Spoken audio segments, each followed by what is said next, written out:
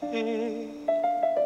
is warm and satisfied,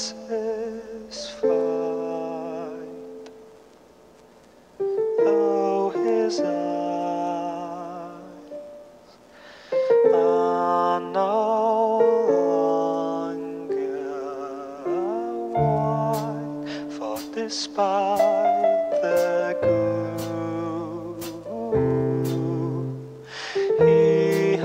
has